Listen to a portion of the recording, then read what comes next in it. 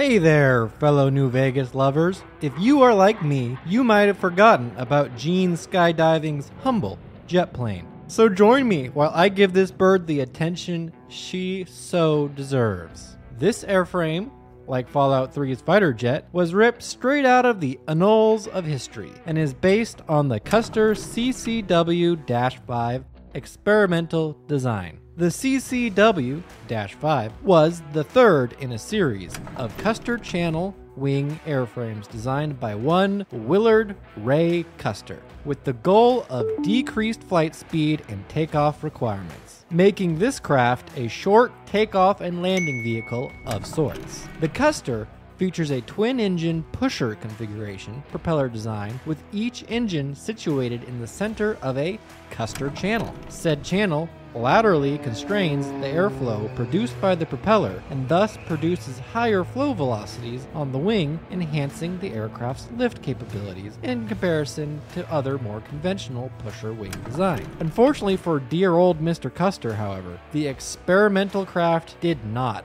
live up to the lofty expectations that he, and critically, investors had for it during flight testing in 1953. And as a result, only two of the airframes were ever built, and the program was sadly canceled. This brings us to the New Vegas Custer Craft, a 29 foot long, 11 foot tall piece of Americana history featuring twin jet engines nestled comfortably within the Custer channels in her 20 foot wingspan.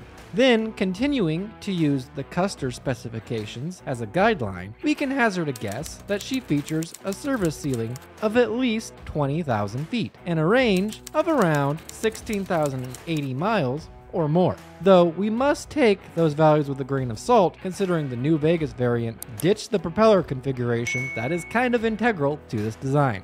Now, with a hop, skip, and a jump, let's dive into the pros and cons of this Obsidian design. A channel first. Knowing what I know about the Custer's airframe now, I think its inclusion in the Fallout universe is a really good call. It has that 50s vibe that Bethesda so dearly loves, and is clearly also appreciated by Obsidian as well. I mean, think about it. With those wild, eye catching wings, it definitely has that wild wasteland feel to it. Other than the general aesthetic, though, Jinkies, I have a hard, I mean truly hard time finding much to like with the in game design. But here's what I was able to convince myself I could call out as additional pros. The livery, that's right, I pronounced it right this time, so I hope y'all are proud of me, is simple and clean, and makes me of the mind that if she was unblemished from the ravages of nuclear infected time, she would have looked quite stunning in the skies of pre war America.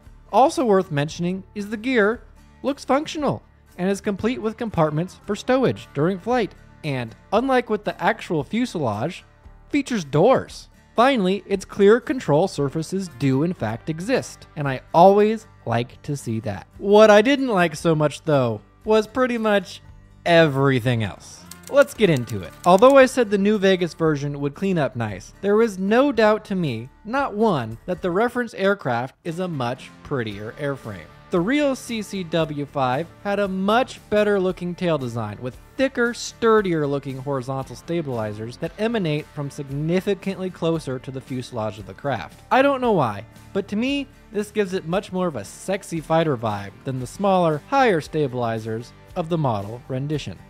Similarly, I'm not a huge fan of the slight adjustments made to the wingtip in comparison to the historical craft. I suppose it does track with the overall Fallout design philosophy though. Honestly, in the Fallout universe, if your wings don't fold or rotate, you are in the minority, regardless of if the craft's use case really calls for such a feature. Looking at you, unnamed cargo aircraft that is coming soon to this channel, so look forward to that. But the biggest issue at least aesthetically, that holds the design back is its wonky scale. I mean, I can barely believe the pilot can fit in this craft, let alone enough people and gear to facilitate a skydiving business. You know what I mean? Like Jean skydiving, it's not gonna work.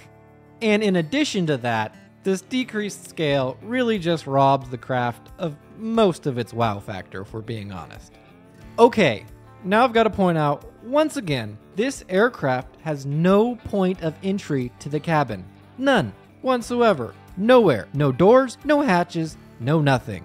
Another, sadly, all too common occurrence in the Fallout universe. Looking at you, New Vegas cargo plane, and you, Fallout 4 airliner. Although, in the case of Jean skydiving, perhaps that's just as well, considering the placement of said cabin door is actually supposed to be in front of the leading edge of the wing, and it's probably not the best life choice to attempt to jump out of the craft from such a position. But you know, if it was me, I wouldn't be jumping out of a perfectly good aircraft in any situation, no matter where the doors were. So, what do I know about such things? Additionally, I'd be worried about the structural stability of the small struts connecting the engines to the wing. I wonder about how these would hold up, even with the propeller based engine that the design was actually, you know, made for, let alone with a bona fide jet engine. Seems super sketch to me. But by far, my biggest con is the fact this aircraft is supposed to be a prop job, not a jet. A fact that Obsidian was actually very well aware of, as the editor ID for this craft is actually New Vegas Small Prop Plane 01. But at some point, the blades were apparently given the axe. This, as you might have guessed, renders the whole channel design completely and totally useless from a functional standpoint, and you don't love that.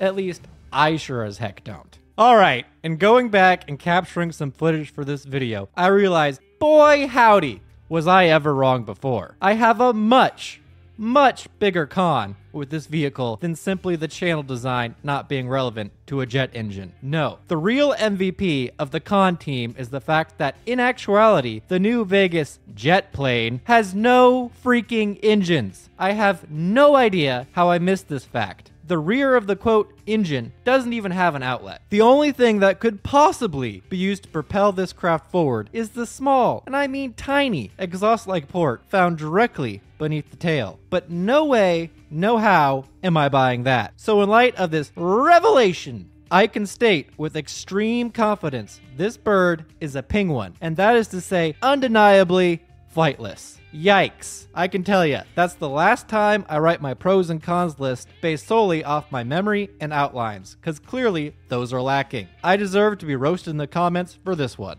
And on that note, that's a wrap, folks. Coming up in the near future, I'll take a shot at covering New Vegas's cargo plane, as previously mentioned, and the missile carrier from Fallout 4's intro that we get to see for a grand total of six seconds. After that, though, I have no idea what's next. So if you have a vehicle from this or any universe you'd like me to cover, hit me with a comment to put it on my radar. Special thanks to all of my awesome, I mean truly awesome subscribers and freshly doubled channel members. You guys are the best. Never in a million years did I think I'd have a single channel member, let alone two.